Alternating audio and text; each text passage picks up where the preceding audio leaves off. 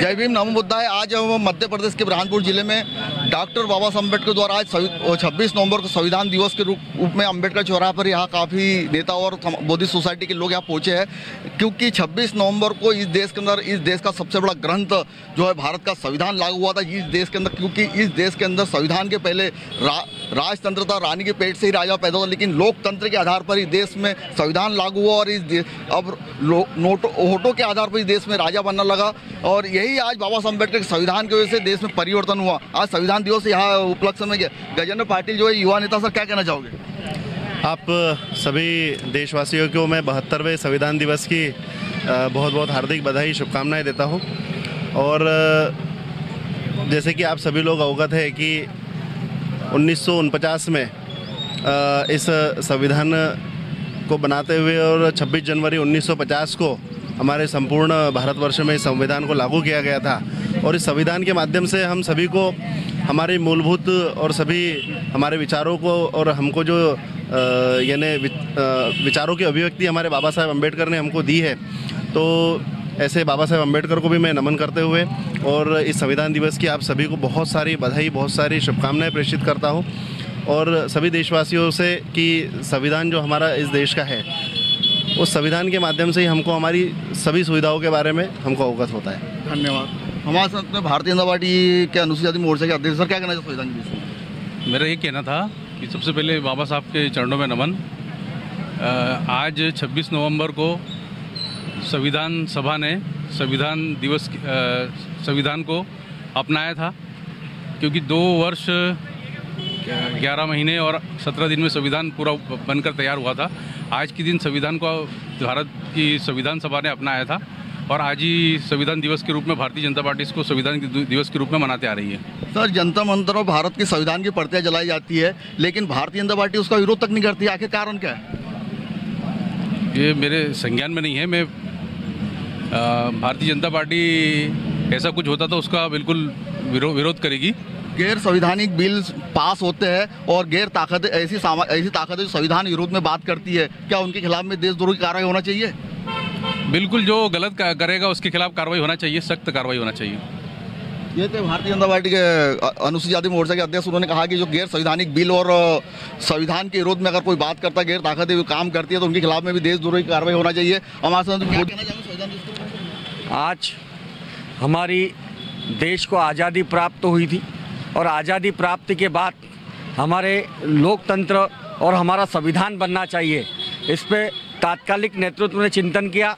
और माननीय डॉक्टर भीमराव अंबेडकर जी के नेतृत्व में हमारा संविधान का निर्माण हुआ, दो साल से अधिक समय लगा और आज ही के दिन 26 नवंबर उन्नीस को वो संविधान निर्माण होकर, तैयार होकर आज तैयार हुआ और 26 जनवरी 1950 को लागू हुआ और उस कानून के तहत, उस संविधान के तहत आज जो बाबा साहब डॉक्टर अंबेडकर भीमराव जी ने जो हमको दिया, वो आज तक हम लगातार जो कानून की सरकार चलती है। कानून का देश में राज है। पहले राजतंत्र था, अब कानून का राज होता है।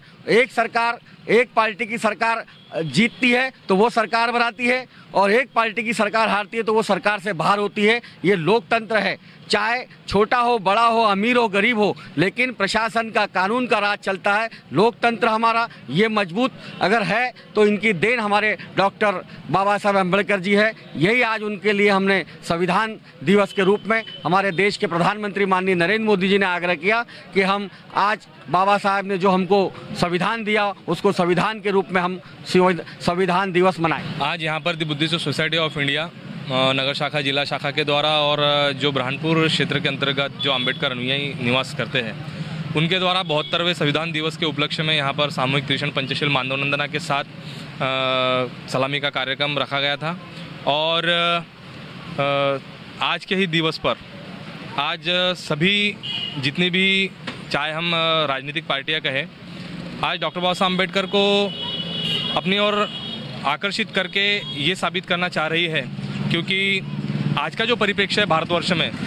ऐसी किसी भी प्रकार की राजनीतिक पार्टी नहीं है जो कि डॉक्टर बाबा साहब अंबेडकर का नाम लिए बिना वो इस देश में राजनीति कर रही हो। और एक तरफ़ तो जो भी राजनीतिक पार्टियाँ हैं, वो संविधान दिवस को मनाती तो है, लेकिन जो वास्तविक तरीके से संविधान की जो उद्देशिका है, क्या चाहे हम कांग्रेस कहे या बीजेपी कहे, क्या उन्होंने वास्तविक रूप से संविधान की जो परिकल्पना है, जो उद्देशिका है, क्या उसके अनुरूप इस भारतवर्ष में संविधान को स्थापित किया है प्रस्तापित किया है, नहीं किया है?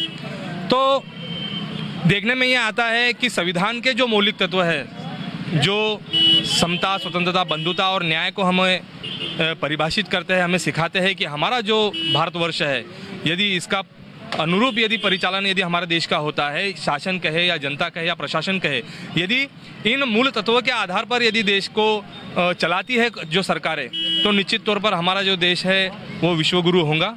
और यही कारण रहा है कि हमारे देश में जो महापुरुष हो गए जिसमें बाबा साहब अंबेडकर अग्रणी है तथा सम्यक संबुद्ध अग्रणी है और जो महापुरुष जिन्होंने बहुजनों के उत्थान के लिए अपना त्याग बलिदान किया है उन्हीं के कारण आज हमारा जो देश है वो विश्व गुरु की ओर अग्रसर है विश्व गुरु बना हुआ है और संपूर्ण विश्व जो है हमारे भारतवर्ष की ओर नतमस्तक होता है। तो इसी तारतम्य में हम सभी बाबा साहब अंबेडकर के अनुयायी और सोसाइटी के कार्यकर्ताओं के द्वारा बाबा साहब अंबेडकर की प्रतिमा के पास में सामूहिक तमाम मुद्दों पर आज भारत का संविधान ही देश में लागू हुआ था काफ़ी बाबा साहब ने संघर्ष करा और ये कहा जाता कि अगर बाबा साहब अंबेडकर भारत का संविधान नहीं लिखते तो और ज़्यादा दिन जीते और आखिर में कारण बाबा साहब ने संविधान लिखा और बहुत संघर्ष किया। और ये तमाम बातों को अगर देखा जाए तो आज पूरे देश में आज कुछ आज लोग पूरे राजनीतिक पार्टियाँ और सामाजिक संगठन भारत का संविधान दिवस मना रहे हैं। अगर भारत का संविधान नहीं होता तो आज देश में परि स्थिति को और होती आज अगर भारत का संविधान ही देश में पूर्ण रूप से अगर देश में लागू हो जाए तो परिवर्तन कुछ और और ही होगा। इन तमाम बातों को लेकर तमाम भारतीय जनता पार्टी की युवा मोर्चे से बात जो अध्यक्ष थे, उनसे बात की गई कि जिस देश के अंदर गैर संवैधानिक बिल पास होते और असामाजिक तत्व इस संविधान के खिलाफ में बातें करती है। क्या उनके खिलाफ में देशद्रोह की कार्रवाई होना चाहिए? तो भारतीय जनता पार्टी के नेता की उनकी तरफ़ से कहा हाँ उन लोगों के खिलाफ में कार्रवाई होना चाहिए। तो फिर आखिर कार्रवाई होती क्यों नहीं? मैं अनिल सोले, कैमरामैन, सहयोगी साथी, सुरेश वानगढ़ के साथ में देखते रहिए जनमत आवाज़।